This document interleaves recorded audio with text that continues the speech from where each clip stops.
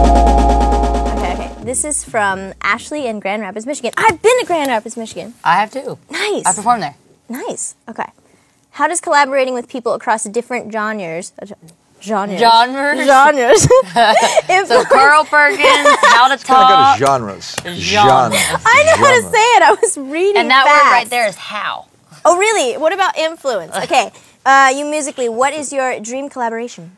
Oh, that's a good question. Dream collaboration. What's my dream collaboration? Uh, if he wasn't dead, I Oh. would love. I always, I always wanted to work with Johnny Cash. I but was gonna say John Lennon. So now, went- oh no, um, I couldn't. I really gotta sneeze. This is why I'm really not focused. Hold on. Okay, maybe not. Um, yeah, if I could work with two different people, it would definitely be John Lennon and Johnny Cash. So I'm out of luck both ways. But I would just want to. I would want to. I would want to write with Johnny Cash, and I would want to perform a song that John Lennon wrote because I don't think I could. I don't think I could write with John Lennon. He's just too genius, and I would just end up messing it up.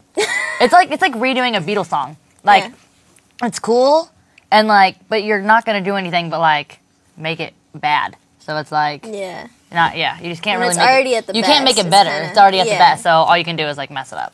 Good point. Good point. Good point.